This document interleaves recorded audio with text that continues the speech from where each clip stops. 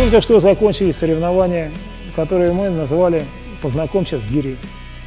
Тут не допускались спортсмены первого разряда и выше. Пришли, в принципе, новички максимум второй разряд. Ребята показали неплохие результаты в подъеме гири по длинному циклу. Многие выступали с гири 32 килограмма. Для некоторых это вообще был просто первый старт на соревнования с гири. Цель соревнования была именно не достижение там выше спортивного, а просто познакомить людей, что такое хороший спортивный снаряд, который используется во всем мире. И гиревой спорт, что это родина его Советский Союз. Многие об этом даже и не догадываются.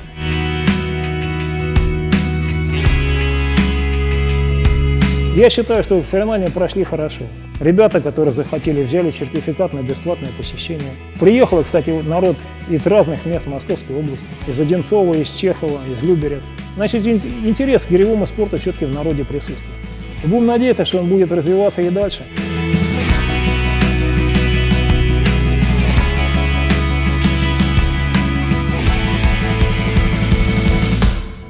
И следующие соревнования, которые мы планируем сделать регулярными, соберут поболее большее количество участников.